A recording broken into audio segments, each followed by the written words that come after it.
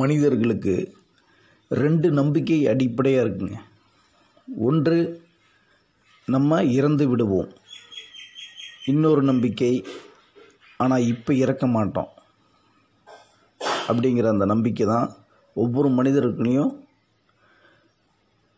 இந்த உலகத்தில் வாழ வச்சிட்ருக்கு. மரணத்தை நினைக்காத நாட்களே இருக்கக்கூடாது. மரணம் எப்போ வேணாலும் வரும் அப்படிங்கிற ஒரு எண்ணத்தை நம்மளோட மனசில் தெளிவாக பதிய வச்சுக்கணும். ஏன்னா எதிர்பார்ப்புகளுடைய வாழ்க்கையை தான் நம்ம வாழ்ந்துட்டுருக்கோம் புற வாழ்க்கையை தான் நம்ம வாழ்ந்துட்டுருக்கோம் நம்மளுக்கு ஒவ்வொரு நாளும் ஒவ்வொரு மணி நேரமும் ஒவ்வொரு நிமிஷமும் ஒவ்வொரு செகண்டும் நம்மளுக்கு வயதாகி கொண்டே இருக்குதுங்கிறத நம்ம மறந்து விடக்கூடாது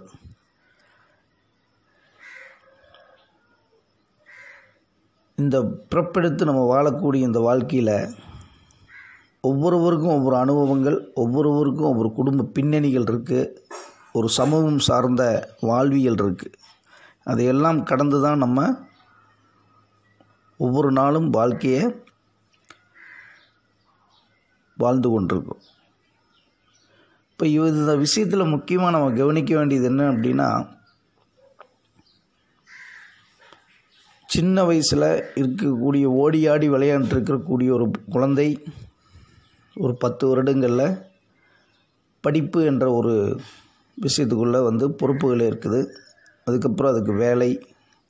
இப்போ அந்த குழந்தைக்கு அப்புறம் வேலை சம்பளம் வாழ்க்கை அப்படிங்கிறப்போ ஒரு திருமணம் திருமணத்தில் ஒரு உறவு அதுக்கப்புறம் குழந்தைகள் அதுக்கப்புறம் தனி மனித குடும்ப தலைவனாகிறான் அல்லது தலைவியாகிறான். அதற்கு பிறகு குழந்தைகளை பெற்றெடுத்து வளர்த்தி அதே மாதிரியான ஒரு செயினில் அந்த குழந்தைகள் வளருது அவங்கள வளர்த்தி விட்டு ஆளாக்கி அழகு பார்த்து திருமணமெல்லாம் பண்ணுறாங்க வயோதிகம் வந்து விடுகிறது. அந்த வயோதிகத்தில் அவங்களுடைய உடலும் மனமும் தளர்வடைகிறது அப்போ இந்த சூழல்களில் வந்து பார்த்திங்கன்னா நம்மை சார்ந்து வாழ்ந்தவர்கள் எல்லாமே நம்மை விட்டு விலகி போயிடுறாங்க. இப்போ அவர்களை சார்ந்து வாழக்கூடிய சூழலுக்கு இந்த முதியவர்கள் வந்துடுறாங்க. அந்த சார்ந்து வாழக்கூடிய சூழல்ங்கிறது எப்படி கட்டமைக்கப்படுதுன்னா மகன் ஒரு மகனை பெற்றவங்க மகன் வீட்டில் வாழ வேண்டியதாக இருக்குது இவங்க வீட்டில் தான் மகன் வாழ்வான். ஆனால் அந்த வீடு அந்த அதிகாரம் அந்த வீட்டுக்கான தலைமை எல்லாமே வந்து மகன் மகனிடம் போயிடும் அப்போ மகன்கிட்ட போன பின்னாடி என்ன ஆகும் அப்படின்னா இவர்கள் என்ன? பெற்றோர்கள் வயதான பெற்றோர்கள் வந்து மகனை சார்ந்து வாழக்கூடிய சூழலுக்கு உருவாயிரும். அப்போ சார்ந்து வாழக்கூடிய சூழலில் ஒரு மருமகள் மகளாகவே எனக்கு ஒரு மருமகள் வேணும் அப்படின்னு தான் ஒரு பொண்ணை வந்து அவங்க வேண்டி வேண்டி ஊர் பூரா தேடி கண்டுபிடிச்சி கொண்டு வந்து கல்யாணம் பண்ணி வச்சுருப்பாங்க. ஆனால் அந்த மருமகள் மருமகளாக இருப்பாளா அப்படிங்கிறப்போ மனுஷியாகவே இருக்க மாட்டா. அப்போ இந்த சூழ்நிலையை எப்படி இவர்கள் வந்து கையாள முடியும் அப்படிங்கிறப்போ அவர்களுக்கு மிகப்பெரிய ஒரு அடுத்தடுத்த அதிர்ச்சிகளை கொடுக்கக்கூடியதாக தான் இருக்கும். சுயமாக சம்பாதித்து சுயமாக இடம் வாங்கி சொந்த உழைப்பில் ஒரு வீட்டை கட்டி அதில் வந்து தன்னுடைய குடும்பங்களை உருவாக்கிய ஒரு தாய் தகப்பன் அதே வீட்டில் தனிமைப்படுத்தப்பட்டு ஒதுக்கப்பட்டு கருத்தியலாக வஞ்சகமான வார்த்தைகளால் வந்து அவர்கள் ஒதுக்கி வைக்கப்படுவார்கள் கவனிப்பாரற்றவர்களாக ஆக்கப்படுவார்கள். இதை கண்கூடாக பார்த்துட்ருக்கிற மகனும் மனைவிக்கு வந்து ஒத்து ஊதி மனைவியுடன் பேச்சை கேட்டுட்டு அதே வஞ்சகத்துடன் அதே ஒரு அதிகப்படியான அந்த வார்த்தைகளின் வீரியத்துடன் தான் தாயும் தந்தையும் வந்து கவனிப்பான். கவனிக்கிறது என்ன? உதாசீனப்படுத்துவான். அப்போ திரும்பவும் ஒரு ஒரு ஒரு சக்கரத்தில் நாம் வந்து இந்த நிலைக்கு வருவோம் அப்படிங்கிற மனநிலை அந்த பையனுக்கு இருக்காது.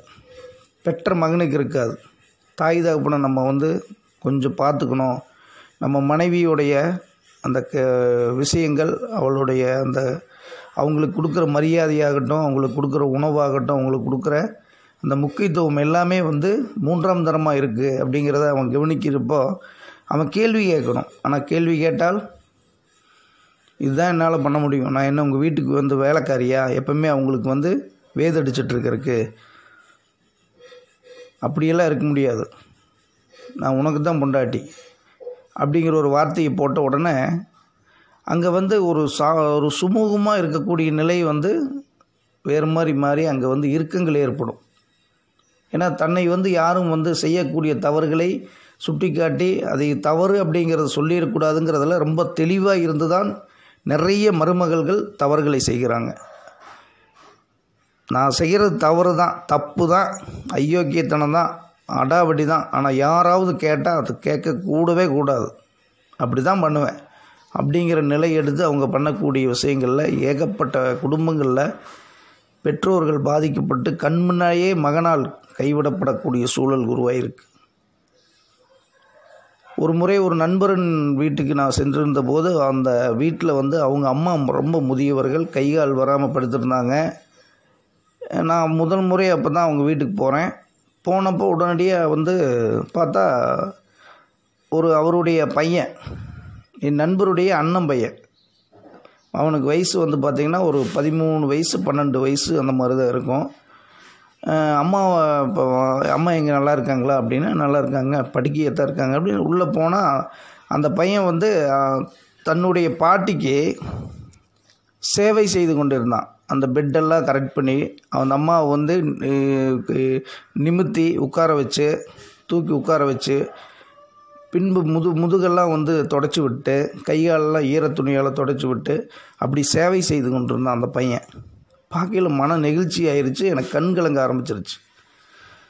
அந்த பையனை வந்து அப்படியே என்ன எப்படி ஒரு சின்ன வயசு பதிமூணு வயசு பையன் இவ்வளவு வந்து ஒரு பாட்டிக்கு பண்ணுறானே அப்படிங்கிறப்போ நெகிழ்ந்து போயிட்டேன் நான். கை காலெல்லாம் பார்த்தா அவ்வளவு கிளியராக அந்த அம்மா வந்து படுக்கையில் இருக்கிறவங்கன்னே கண்டுபிடிக்க முடியாது. அவ்வளோ நேர்த்தியாக இருக்காங்க அவங்க. அப்போது பாராட்டிட்டு வந்து உட்காந்து பேசுகிறப்போ சொன்னேன் ரொம்ப அற்புதமான இது- விஷயங்க இது. எல்லாருமே இதனால் வந்து இப்படி ஒரு இது நான் எதிர்பார்க்கவே இல்லை குழந்தைகள் இந்த அளவுக்கு இருக்காங்க அப்படிங்கிறப்போ எல்லாருமே நாங்கள் எங்கள் அம்மா மேலே அவ்வளோ அட்டாச்சாக இருப்போங்க. அந்த விஷயத்தை என் பையனுக்கும் கற்றுக் கொடுக்குறோம். என் பையனுக்கு கற்றுக் கொடுக்குறதில்ல அவனுக்கே நான் பண்ணுறது நான் தான் எங்கள் அம்மாவை கவனிச்சுக்கிறேன். என் மனைவியும் கூட நான் விட மாட்டேங்க இன்னும் நான் கவனிச்சுக்கோ இல்லை அண்ணன் கவனிச்சுக்குவார். குளிக்க வைக்கிறதுலேருந்து அம்மாவுக்கு துணி மாற்றி உடை மாற்றி எல்லாம் பண்ணுறது வரைக்குமே நாங்கள் தான் பண்ணுவோம். அந்த நேரத்தில் வந்து அண்ணன் பையனுக்கு ரெண்டு பேருமே கூட இருந்து உதவி பண்ணுவாங்க. என் பையனும் சின்ன பையன் அவனும் வந்து கூட தண்ணியெல்லாம் எடுத்து கொடுக்குறது சோப்பெல்லாம் எடுத்து கொடுக்குறது எல்லாமே பண்ணுவான். அப்போ வந்து அந்த இதுதான் இந்த இப்போ இதெல்லாம் பண்ணுறாங்க அப்படிங்கிற மாதிரி சொன்னார். ரொம்ப நெகிழ்ந்து போயிட்டேன். இப்படிப்பட்டவர்களும் வாழ்கிறாங்க இப்படிப்பட்டவர்களும் வந்து அந்த இடத்துல வந்து ஒரு தாயை தாயாக மதிக்கக்கூடிய சூழலை உருவாக்கக்கூடிய அந்த மனநிலையை அந்த இடத்துல கட்டமைக்கிறாங்க. நம்ம வந்து வாழ்க்கையை நல்லா சந்தோஷமாக வாழலாங்க. ஆனால் சந்தோஷமாக வாழணுங்கிற ஒரே காரணத்துக்காக நாம் சுயமரியாதை இழந்து வாழக்கூடாது. அது ஆண்களாக இருந்தாலும் சரி பெண்களாக இருந்தாலும் சரி. என்னை பெற்றவர்களை நான் பார்த்துட்டு தான் ஒரு அதுக்கு ஒரு நான் வந்து தனியாகலாம் நான் டைம் எல்லாம் இல்லை அவர்களை கவனிப்பணும். அவங்களுக்கு முதல்ல நான் அவங்களை கவனிக்கிற விஷயம் என்னவாக இருக்கணும்னா அவர்களுடைய உணவு விஷயத்தில்.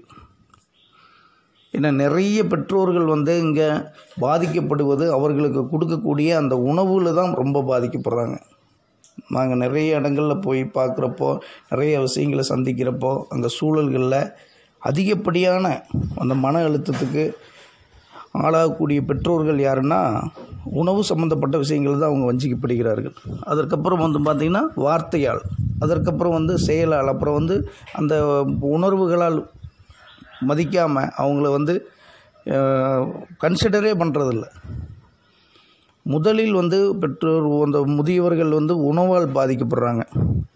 அவங்களுக்கு சரியான நேரத்தில் உணவு கொடுக்கறதில்ல. அப்படியே கொடுத்தாலும் அந்த உணவில் வந்து இவர்கள் சாப்பிடுவதை விட ஒரு குறைவான ஒரு விஷயங்கள் ஏதோ ஒன்று இருக்குது ஒன்று நேற்று சமைச்சதை வந்து ஏதோ ஒன்று பண்ணி இந்த வந்து கொடுக்கறது. அந்த மாதிரி. காலையில் சுட்ட தோசை அப்படியே மிச்சமாயிருச்சு. அத்தா என்ன பண்ணுறதுன்னு தெரியல. இதையும் சாப்பிட்டு இது இந்த சாப்பாட்டையும் சாப்பிடுங்க அப்படிங்கிறது. அப்போது வலுக்கட்டாயமாக அந்த பழசுங்கிறத வந்து சாப்பிடுவாங்க அவங்க. இதெல்லாம் சா கஞ்சியே இருந்தாலும் சாப்பிடுவாங்க. சாப்பிட சாப்பிட்டு அப்படி வளர்த்தப்பட்ட பிள்ளைகள் தான் இவங்க வீடு கட்டி இன்னைக்கு நல்லா இருக்காங்க அப்படிங்கிறது விஷயம் அதுக்குள்ளே இருக்குது அவர்களுடைய தியாகத்தினாலையும் வாயை கட்டி வயிற்று கட்டி வளர்த்தனால தான் இன்றைக்கி இவங்க ஒரு நெஞ்சு நிமித்திட்டு ஊருக்குள்ளே நானும் ஒரு ஆம்பளைன்னு சுற்றிட்டு இருக்காங்க நிறைய பேர். அப்படிப்பட்ட ஒரு விஷயங்கள் அதுக்குள்ளே இருந்தாலும் இவர்கள் வாழ்க்கையில் எவர்களாக இருந்து அதைய தேர்ந்தெடுத்து தேர்வு பண்ணி உணவு உண்பதுங்கிறது வேறு. ஆனால் வலுக்கட்டாயமாக மற்றவர்களால் அணுதினமும் ஏதோ ஒரு குறைபாடுள்ள உணவு கொடுக்கப்படும் பொழுது அது மிகப்பெரிய மனசில் அவங்களுக்கு வந்து தாழ்வு மனப்பான்மையும் இயலாத நிலையில் நம்மளோட வாழ்க்கை எப்படி ஆயிருச்சுங்கிற ஒரு மனப்பிரச்சனைக்கும் அவங்க உள்ளாகிறாங்க. இந்த கவலைகளால் வந்து சூழப்பட்ட சூழலை உருவாக்குது. நான் சமைச்சுக்கிறேம்மா விடுமா ஏதோ ஒன்று நான் பண்ணிக்கிறேன் அப்படின்னு ஒரு அம்மா சொன்னாலும் மருமகள்கள் சமையல் கட்டில் விடுறதே கிடையாது.